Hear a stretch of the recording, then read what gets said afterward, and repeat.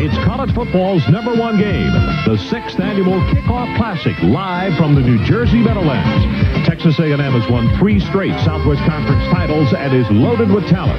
Nebraska is the winningest college team in the 80s. The Cornhuskers have been ranked in the top 10 for 18 straight years.